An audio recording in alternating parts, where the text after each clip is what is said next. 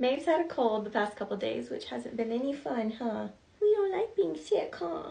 But it has let me try out my new electric nose sucker. I don't have the manual one, so I can't compare it to that, but I will say I love this thing. This is the Nose Frida one, and it has three different levels of suction, and it has two different tops, so I just have the narrow one on for her right now. Yeah, and we love grabbing it too, huh? And we try to put it in our mouths, but that's yucky.